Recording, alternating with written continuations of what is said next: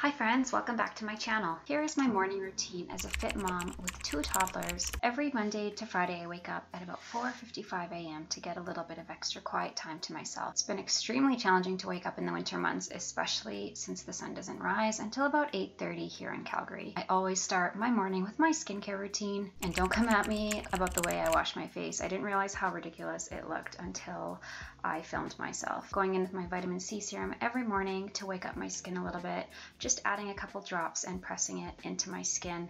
I've noticed the biggest change in my skin texture since using vitamin C serum. And if you're interested in my skincare routine, like and subscribe because that content will be coming at you shortly. Applying sunscreen every day, even in the winter time. Fun fact, I live here in Calgary, Alberta, where it is one of the sunniest cities in Canada and we get about 300 plus sunny days out of the year, which is insane. My workout of choice has been going to the F45 in my neighborhood. So today I'm going to my usual 6 a.m. class and it's my favorite day because it's leg day today. Now the key to a successful morning workout is preparation.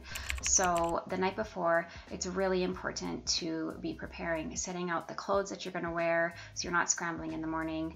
You can also set out your supplements. I also prep my overnight oats that I eat in the morning. You can even go as far as to leave your keys and jacket by the door I made the mistake of not leaving my keys by the door one time and I was scrambling at about 5.45 in the morning and I found them in my husband's jeans pocket in the hamper. So that was super fun. Doing my overnight heatless curls using socks, letting them set, just adding a little bit of water before I go to bed and hopefully the result in the morning turns out okay. So taking out my heatless curls, now I don't always do my hair for the gym, especially on cardio days. I don't like my hair in my face when I'm, you know, during burpees or that type of thing. So usually for a weight day, I will do my hair because there isn't a lot of time between when I get home and my kids wake up for me to get ready. Well, here you can see the heatless curls turned out great and today is a leg day, so I'll be able to hopefully maintain this putting on my gym outfit that I took out the night before always making sure I smell great, going in with a little bit of body spray, never wanting to use heavy perfume when you're going to the gym. Now I have black eyelashes, so I like to put just a little bit of castor oil on my eyelashes just to nourish them while I'm at the gym. I come down and it is it is chilly in my house.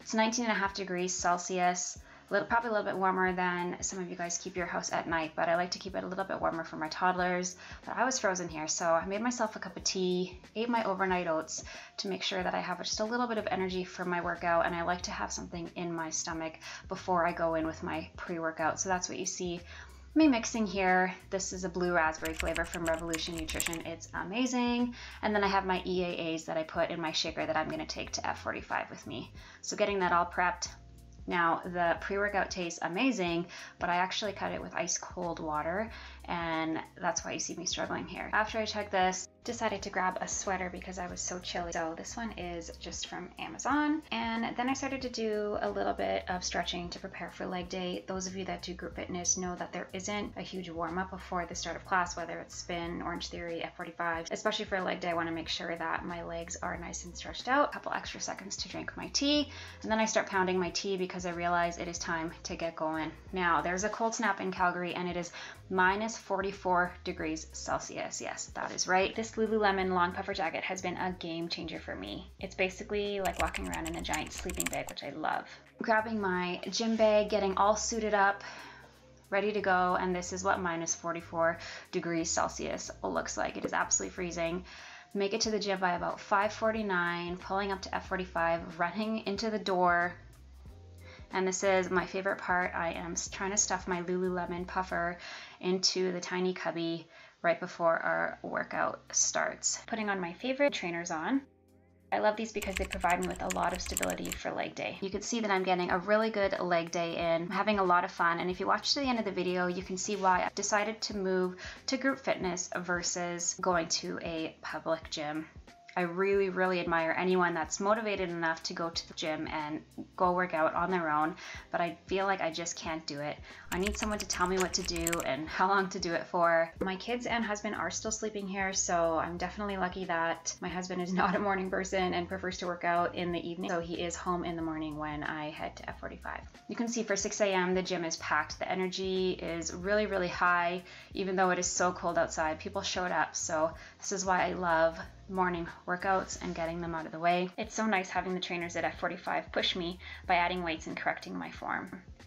Lifting really heavy weights has really changed my body composition, but of course I do eat quite a bit of protein as well to help build and maintain my muscle. I get my car started to make sure it starts in the cold. Heading home, I'm really lucky to only live a couple minutes from the gym, so it makes it super convenient. I noticed that my kids were still sleeping, so I just shoveled a little bit because I want to make sure that my walkway is clear for any delivery drivers that come today. Mixing up my protein, getting a quick stretch in, and then I heard my son turn his bedroom light on, so went upstairs, saw him reading in his chair. So cute. Love seeing his smile. And as I get my kids ready for preschool, I'm just checking out to see my glute pump. Okay, so it's the end of my workday now, and I'm heading out soon to pick up my tots from preschool. I wanted to come on here and talk about why I prefer group fitness versus going to a public gym. I did have a gym membership for many, many years in my 20s. I had a really hard time staying motivated to go. There were so many excuses. I was a student then I was in university. I couldn't go in the morning because I had morning classes or I couldn't go in the evening because I had to study. It just wasn't something that I enjoyed doing. Going to the gym, trying to follow a workout routine, pushing myself to the limits, and then that's kind of how I fell into group fitness. Started with hot yoga classes and I found myself being really motivated going to hot yoga. And then I found spin. I fell in love with spin and I actually was a spin instructor for a couple years and I really, really enjoyed it. And now, as you saw in the video, I go to F45. I love it. I truly am so excited to go every morning, and that's how I know I found something that is for me. Now hear me out. I know group fitness memberships are much more expensive than a membership to a public gym. However, many years ago when I was trying to justify the cost of it, I decided if I did go, you know, five to six times a week, then it was worth the expense. For maybe this is a little bit too much for somebody, but that keeps me motivated to continue going. Not only that, but because I go at 6 a.m. every morning, I register the night before. Because I've registered for the class, if I don't show up in the morning, I actually get charged a late fee. And I'm so cheap that I don't want to pay this late fee. So I find if I'm feeling healthy the day before, if I register, then the next day, you know, I'm obligated to go because a, I don't want to pay the late fee, and B, I don't want to have taken someone else's spot that maybe was on the wait list and trying to get into the class. The other thing I love about group fitness is there's often challenges. I mean, you always see it uh, for hot yoga, you know, 30 day challenges, spin 30 day challenges.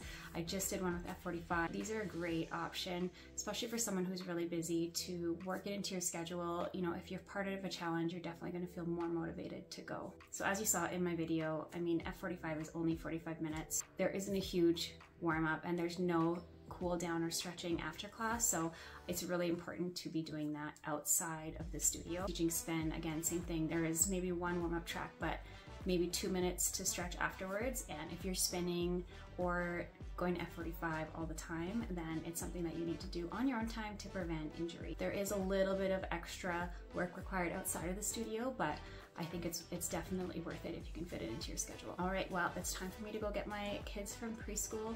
The cold snap in Calgary continues. I just checked my phone. It's still minus 44 with the wind chill. I gotta rush out, bring my tots home, and we're gonna hunker down for the night. And uh, I'll see you guys next week. Thanks for watching.